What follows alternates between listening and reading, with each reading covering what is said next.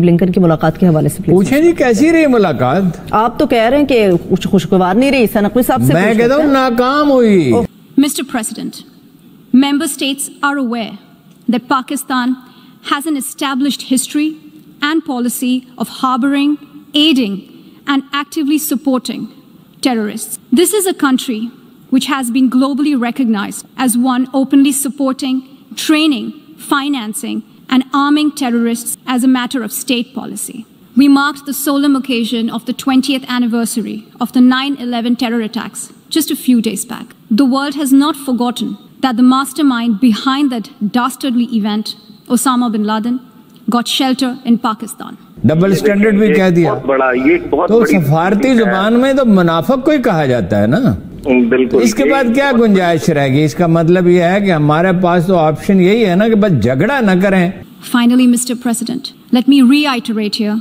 that the entire Union territories of Jammu and Kashmir and Ladakh were, are, and will always be an integral and inalienable part of India. This includes the areas that are under the illegal occupation of Pakistan. We call upon Pakistan to immediately vacate all areas under its illegal occupation.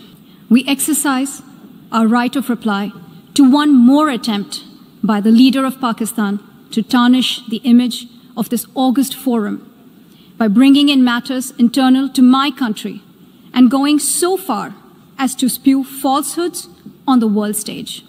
While such statements deserve our collective contempt and sympathy for the mindset of the person who utters falsehood repeatedly, I am taking the floor to set the record straight.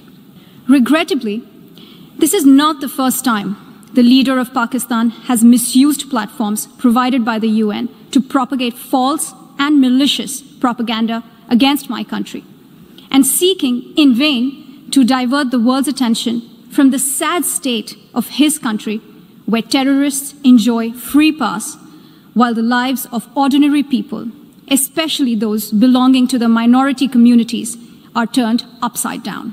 Mr. President, member states are aware that Pakistan has an established history and policy of harboring, aiding, and actively supporting terrorists. This is a country which has been globally recognized as one openly supporting, training, financing, and arming terrorists as a matter of state policy. It holds the ignoble record of hosting the largest number of terrorists proscribed by the UN Security Council. We marked the solemn occasion of the 20th anniversary of the 9 11 terror attacks just a few days back. The world has not forgotten that the mastermind behind that dastardly event, Osama bin Laden, got shelter in Pakistan. We marked the solemn occasion of the 20th anniversary of the 9 11 terror attacks just a few days back. The world has not forgotten that the mastermind behind that dastardly event, Osama bin Laden, got shelter in Pakistan. Pakistan leadership continues to glorify him as a martyr. Regrettably, even today, we heard the leader of Pakistan trying to justify acts of terror. Such defense of terrorism is unacceptable in the modern world. We keep hearing that Pakistan is a victim of terrorism. This is the country which is an arsonist disguising itself as a firefighter. Pakistan nurtures terrorists in their backyard in the hope that they will only harm their neighbors. Our region, in fact, the entire world, has suffered because of their policies. This is also the country that still holds the despicable record in our region of having executed a religious and cultural genocide against the people of what is now Bangladesh. Today, the minorities of Pakistan, the Sikhs, the Hindus, the Christians, live in constant fear and state sponsored suppression of their rights. This is a regime where anti Semitism is normalized by its leadership and even justified. Pluralism is a concept which is very difficult to understand for Pakistan, which constitutionally prohibits its minorities from aspiring for high offices of the state. The least they could do is introspect before exposing themselves to ridicule on the world stage. Unlike Pakistan, India is a pluralistic democracy with a substantial population of minorities who have gone on to hold highest offices in the country including as President, Prime Minister, Chief Justices, and Chiefs of Army Staff. India is also a country with a free media and an independent judiciary that keeps a watch and protects our Constitution.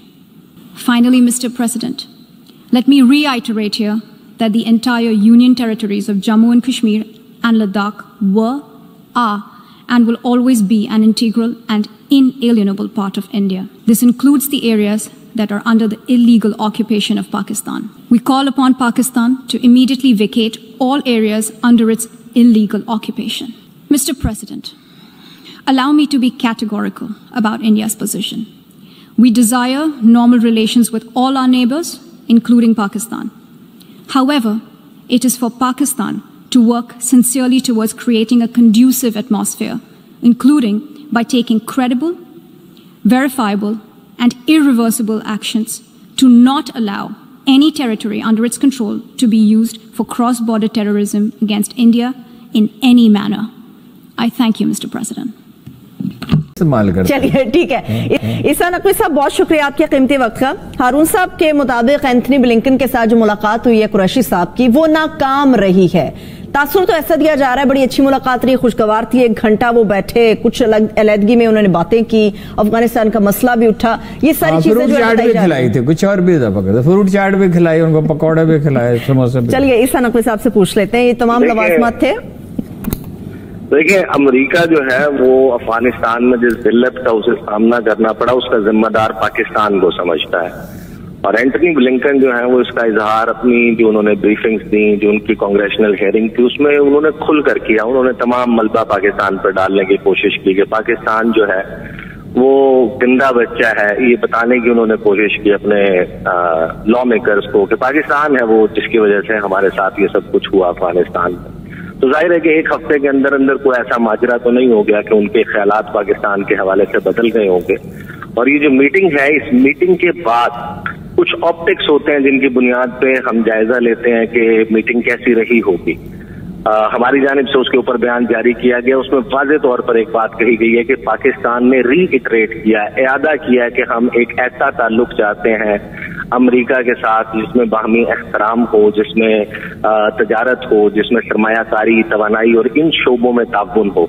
इसका मतलब यह है कि अभी अगर हम इसके खां हैं तो इसका मतलब यह है कि अभी फिल वक्त जो ताल्लुकात हैं पाकिस्तान और अमरीका के, वो इन बुनियादों के ऊपर उसवार नहीं है।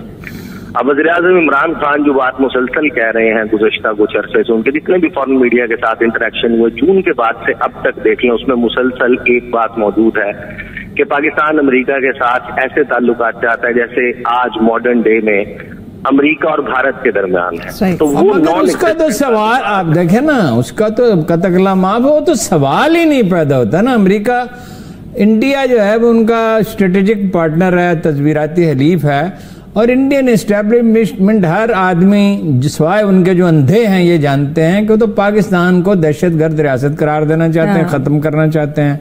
वो तो उसका तो सवाल, ये तो मतलब क्या है? ये ख्वाब कभी पूरा हो सकता है और क्या ये देखना भी चाहिए? देखिए, हारून साहब, हमारे पाकिस्तानियों के साथ एक झूठ जो तबातर के साथ गुजशत दो दिहाइयों में बोला गया, हमें गवर्नमेंट्स बताती रही, हमें फॉरेन ऑफ़िस कहता रहा कि पाकिस्तान और अमेरिका के दरमियान स्ट्रेटेजिक ताल्लुक हैं और पाकिस्तान और अमेरिका स्ट्रेटेजिक पार्टनर्स हैं इस रीजन में, जबकि ये एक ऐसा झूठ था जिसके ऊपर बहुत सारे लोग यकीन भी करते रहे। पाकिस्तान और अमरीका के दरमियान एक ट्रांजेक्शनल रिलेशनशिप था, एक सिक्योरिटी का ताल्लुक था। कि हम अमेरिका के लिए क्या कर रहे हैं, बदले में अमेरिका हमारे लिए क्या कर रहा है। लॉन्ग टर्म ताल्लुक तो वो उनका साथ साथ उस वक्त भारत के साथ परवान चल रहा था, जब उन्होंने सिविल न्यूक्लियर डील की। उन्होंने बीका, लिमुआ, कमकासा, ये मुआदे जो हैं, वो भारत आप जब बात कह रहे हैं, कल अगर फॉरेन ऑफ़िस की ब्रीफिंग देखी जाए तो इसका मतलब है पाकिस्तान ने उन्होंने कह दिया, तुम मुनाफकत बरत रहे हो डबल स्पीक तो कह दिया ना। डबल स्टैंडर्ड भी कह दिया। बहुत बड़ा ये बहुत तो सफारती ज़ुबान में तो मुनाफक को ही कहा जाता है ना? बिल्कुल। इसके बाद क्या गुंजाइश रहेगी? इसका मतलब यह है कि हमारे पास तो ऑप्शन यही है ना कि बस झगड़ा ना करें कोशिश करें कोई झगड़ा ना हो और हम सीपैक से कैसे दस्तबरदार हो हो सकते सकते हैं। बिल्कुल ये एक वाजे तौर पर प्रेशर और बहुत सारे लोगों को यहाँ पर ये भी लगता है कि जैसे यहाँ पर अगर हुकूमत में आ, कोई और हो तो पाकिस्तान और अमेरिका के ताल्लुकात बेहतर हो जाएँ। पाकिस्तान का जो इस वक्त अमेरिका के साथ ताल्लुक है और इसमें जो खराबी नज़र आ रही है ये मखदूश नज़र आ रहे हैं। इसका ताल्लुक पाकिस्तान और अमेरिका के ताल्लुकात से ज़्यादा अमेरिका और चीन के ताल्लुकात के साथ है। हाँ, आलमी महाज पे बाइडन जो है उन्होंने टेक ऑन किया हुआ है चाइना को। चाइना के हवाले से जो उनकी पॉलिसी है कंसल्टेशन की वो उनकी स्पीच में भी नज़र आ रही थी और ज़ाहिर है कि पाकिस्तान को वो समझते हैं कि ये चीन का क्लोज पार्टनर है उनका स्ट्रेटेजिक पार्टनर है स्ट्रेटेजिकली अलाइंड है पाकिस्तान चीन के साथ। तो ज़ाहिर है कि तो सजा वो अपने तौर पर चीन के उन इत्तेहादियों को भी दे रहे हैं जो मुस्तकबिल में भी चीन के साथ बहुत ज़्यादा चीन के लिए फ़ायदा यानी आप ये फरमाते हैं कि वक्त गुजरने के साथ इन ताल्लुकात की बेहतरी का कोई ज़्यादा इम्कान नहीं। नहीं है। हम कोशिश तो कर रहे हैं लेकिन ज़्यादा इम्कान नहीं है। देखिए स्टेट डिपार्टमेंट की वेबसाइट है उस पे वो प्रेस रिलीजेस जारी करते हैं। अभी मुलाकातें एंटनी ब्लिंकन की जिस भी वज़ीर खारजा के साथ मुलाकात हो रही है उनकी हालाँकि फ्रांस के साथ अभी कितने ताल्लुकात खराब हुए हुए हैं ऑकस पैक्ट की वजह से। जितने भी वजराए खारजा के साथ मुलाकात हुई उसकी प्रेस रिलीज़ लगाई गई है।